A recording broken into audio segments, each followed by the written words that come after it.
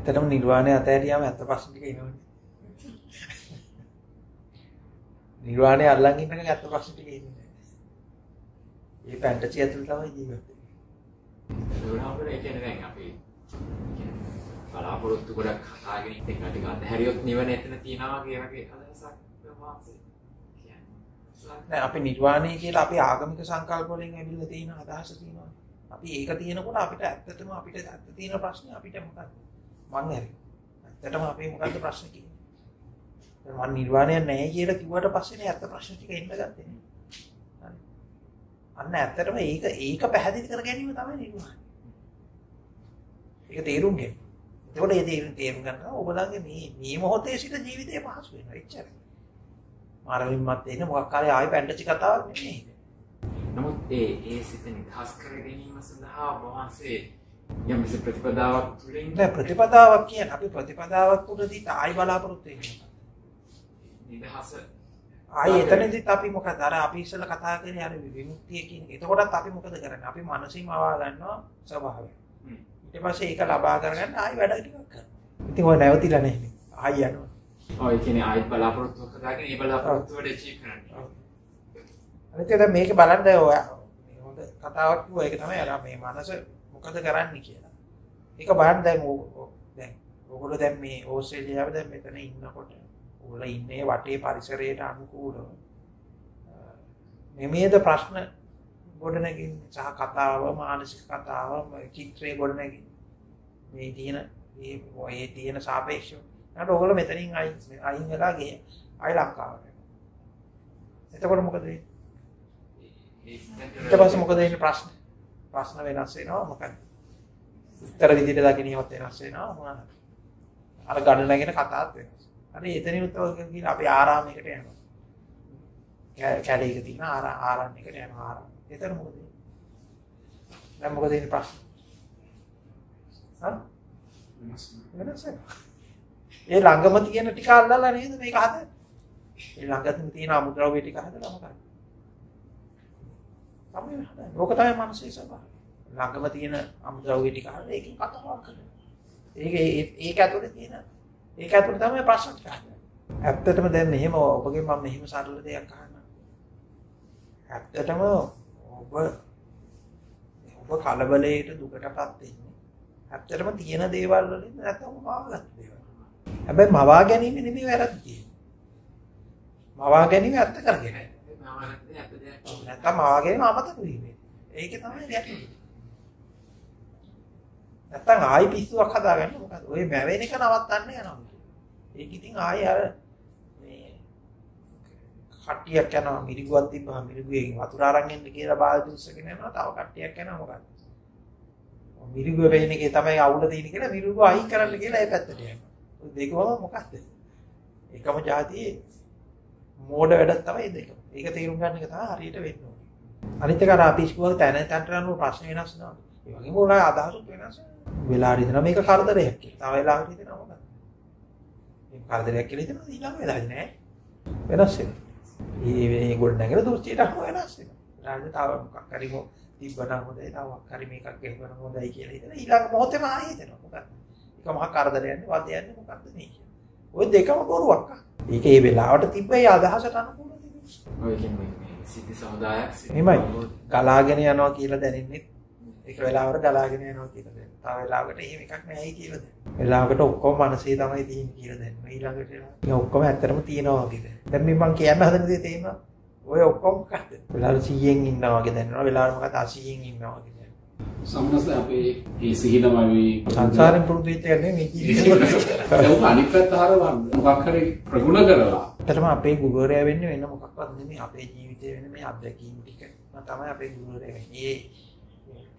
කෙනෙක් ඉන්නවා ඒ ලැබෙන අත්දැකීම් ටික එයා ඉගෙන ගන්න එක මේ ටික යන. තව කෙනෙකුට පුළුවන් ඒ ඒ තියෙන අත්දැකීම් ටික මැප් කරගෙන ඉතින් ඒකෙන් තේරුම් ගන්න මොකක්ද මේ කියලා. තමන්ට ලැබෙන ජීවිතය අත්දැකීම්. දැන් මම ඕගොල්ලොත් කතා කරේ ඇත්තටම ඕගොල්ලන්ගේ ජීවිතයේ අත්දැකීම් ටික මිසක් එහෙම නැතුව මේ 아무තු කතාවක් නෙමෙයි. එතකොට ඒ ටික මැප් කරගන්න පුළුවන් වෙන එක මොහොතක් එනවා. ඒ ඒක මම නෑ කියන්නේ. දෙවෙනි එකත් හරි. දැන් තමන්ට ඒක දැන් මෙහෙම ඕගොල්ලෝ ජීවිතේ දේවල් අහගන්න ඕගොල්ලෝ මහන්සි වෙනවා නේ. නිකන් ලැබුණේ හරි එතකොට දැන්ට තමන් ඒක ළඟ තමන් ළඟ නැහැ කියලා හිතෙනවා නම් ඒකට අවශ්‍ය කැපකිරීමක් කරන්න. ඒකට ඒකට අවශ්‍ය යම්කි මහන්සියක් දරන්න. හරි. එතකොට ඉතින් ඒක තමයි දැන් ඕගොල්ලෝ මේ දැනුත් මේ වෙලාවෙත් කරන්නේ එහෙම එකක් තමයි හරි. ඕගොල්ලෝ දැන් කිවල් වල ඉන්නේ නැතුව වාහනේ අරගෙන ඇවිල්ලා. සමහර අය පැයක් ඇවිල්ලා සමහර අය පැය දෙකක් ඇවිල්ලා. හරි. ඉතින් ඇවිල්ලා මෙතන ඉඳගෙන අපි මේ කතා බහ කරන්නේ කියන තමයි. එතකොට ඒක ඒ- එතකොට ඒ නිකම්ම ඉතර නෑ නේ. එතකොට ඒකට අ, අපි උත්සාහ දරන්න. ඉතින් දැන් සමහර අය ඕගොල්ලෝ භාවනා රෙස්ටෝරන්ට් වලට ගිහිල්ලා ඉතින් බණ අහලා ඇති. එක එක ඒවා කරලා තියෙනවා හරි. try කරලා තියෙනවා එතකොට ඒක ඒ අ, ඉතින් අන්තිමේදී ඒ ඒ ඒ- ඒ ඒ ගත්තු උත්සාහය අ, ඕනට උදව් වෙනවා. අර කතාව තියෙන්නේ මොකද්ද මේ? තට්ටු කරොත් තමයි දොර ඇරෙන්නේ. හරි. ඉතින් තට්ටු කරන්න තට්ටු නොකර හිටියොත් දොර ඇරෙන්නේ නැහැ දැන් ඕගොල්ලෝ මෙතනට ආවේ එහෙම තට්ටු කරන්න ඕනි කියලා හිතිච්ච ඉඳන්නේ නේ දැන් මේ තට්ටු කරන ගමන් ඉන්නේ ඒ කියන්නේ අපි මේ ඔක්කොම අන්තිමේදී වෙන්නේ ජීවිතේ ඔක්කොම අත්දැකීම් ටිකක් තමයි ආයි තේරුම් ගන්න. ඒ කියන්නේ ආය අමුතුවෙන් එළියෙන් දෙයක් එක ගන්න ඕනේ. තමන්ගේ ජීවිතේ දැන් මේ මේ කියනකොට ඕගලන්ට ඒ- ඒක දැනෙනවද? ඒක මේ බාහිර මේ පිටස්තර දෙයක් විදිහට දැනෙන්නේ නැත්නම් මේ ඕගලන්ගේ ජීවිත කතාවත් මේ කතා කරනවා කියලා. නේ? දැන් මේ බොහෝ දේවල් මොකද්ද ඕගලන්ගේ ඇත්තටම මොකද්ද ජීවිත කතාව මේ කියලා ඕගලන් තේරෙනවා ඕගලන් දැනිච්ච විදිය ඔක්කොම කියලා. හරි. අන්න ඒක තේරුම් ගන්න එක තමයි මේ කරන්නේ. නැත්නම් මෙතන ආයි මේ මැජික් කතාවක් කතා කරලා කොහේවත් යන ෆැන්ටසි එක ආයි මේ ඔල්ගෝ හිර කරලා ජී- ජීවිත හිර කරන එක නෙමෙයි කරන්නේ. දැන් තව ඕගලන්ට අලුත් හීනයක් හදලා දෙන එක නෙමෙයි කරන්නේ. දැන් ඉන්න හීනේ දැන් දැක දැක හීනේ හීනේ හීනේට තට්ටු කරලා අවදි කරගන්න. දැන් දැන් මේ විතරම දැන් ඔක්කොම කරලා රිටයර්මන්ට් එකක් ප්ලෑන් කරලා අපි රිටයර් වෙලා ඔක්කොමත් කරලා ෆයිනෑන්ෂියලි ඔක්කොම මේ වෙලා දැන් ඒ දවස ආවා. ඇවිල්ලා ඒ දවස මොකද කරන්නේ? ඒ දවසේ මොකද කරන්නේ? එදත් කරන්නේ තව කතාවක් තව කතාවක් හදගෙන ආයෙ හිර වෙන එක. ඇත්තටම ජීවත් වෙනවා කියන එක හරි ලේසි. අපි මේ ජීවත් වෙන්න එක්ස්පෙරිමන්ට් කරන එකයි අමාරු. අපි විවිධාකාර විදිහට මේක එක්ස්පෙරිමන්ට් කරනවා. try කරනවා එක මෙතන. ඒක try කරනවා. එක එක ක්‍රමයක් try කරනවා ඊට පස්සේ ඒකට තව ක්‍රමයක් try කරනවා. කියන්නේ අපි මේක එක ෆ්‍රේම් එකක් හදා ගන්න, තව ෆ්‍රේම් එකකට දාන්න. ඉතින් ওই ෆ්‍රේම් ටික ඔක්කොම නැති වුණොත් පස්සේ. එදාට තමයි ජීවත් වෙන්නේ. ජීවත් වෙන්න ෆ්‍රේම් එකක් ඕනේ නැහැ. ආයි අපිට මේකක් හදා ගන්න ඕනේ නැහැ. අපි මේ ලෝකෙට ඇවිල්ලා තින්නේ මේ අහස පොළොව ගැටලෙන ප්‍රශ්න ටිකක් විසඳලා යන්න නෙවෙයි. ඒක හොඳ ඉස්සර තේරුම් ගන්න. දැන් අපි අපි හැම වෙලාවෙම අපේ ඔළුවේ තියෙන අපි අපි මේ ඉන්නේ මේ ප්‍රශ්න විසඳන්න. කියන්නේ අපි අපිට අපිට දවසේ ඔන්න එන්න ඕනේ පටන් ගන්න කොහොම ප්‍රශ්න ටිකක් තියෙනවා. ඒ ප්‍රශ්න ටික කොහොම කොහොම හරි විසඳන්න ඕනේ. හරි. ඒක විසඳලා ඉවරනකොට ඊළඟට මොකද? තව ප්‍රශ්න ටිකක් තියෙනවා ඊළඟට මොකද? ඒ ටික විසඳන්න. ඒතකොට හැම වෙලාවෙම ඉන්නේ මෙහිම ප්‍රශ්න විසඳන මානසිකත්වයකින් තමයි අපි එන්නේ. එහෙම ප්‍රශ්න කියන්නේ එතකොට විසඳන්න ප්‍රශ්නයක් නැති වුණත් අපි මොකද ප්‍රශ්නයක් හදාගෙන හරි මොකද? එතකොට අපි අපිටම අලුත් ටාගට් එකක් දීලා හරි අලුත් ප්‍රශ්නයක් හරි හදාගෙන හරි ඒකම හරි අපි මොකද? ඒක හරි විසඳනවා. හැම වෙලාවෙම ඔයක තමයි අපේ මනසේ ස්වභාවය. ප්‍රශ්න විසඳන්න ඉන්නවා කියන මානසිකත්වය. විසඳුම් තියනවා කියන මානසික. විසඳලා ඉවර කරනවා කියන මානසික. අද දවසේ නිදහසේ ඉන්න බැරි මිනිස්සෙකුට කවදාවත් නිදහසේ ඉන්න බෑ. අද දවස ගැන තෘප්තිමත් වෙන්න බැරි මිනිස්සෙකුට කවදාවත් තෘප්තිමත් වෙන්න බෑ.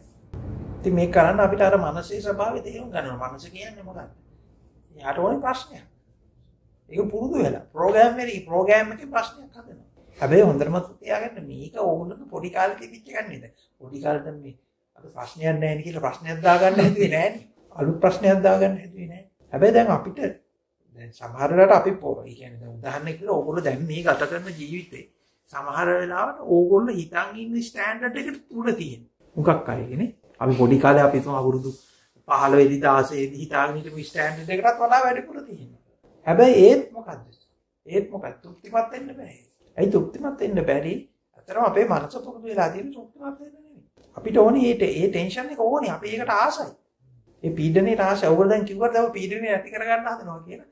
ඇත්තටම ඕගොල්ලන්ගේ මොකද සම්පූර්ණ මොටිවේෂන් එක තියෙන ඔය පීඩනේ මත. ඔය පීඩනේ නැතුව සමහර විට ඕගොල්ලන්ට මොන සුසයිඩ් කරගන්න ඉඩ ඒ ගේම් එක තමයි ඔයාලට ඕනේ. ප්‍රෙෂර් එකක් සහ රිලීස් කරගන්න. ඔව්.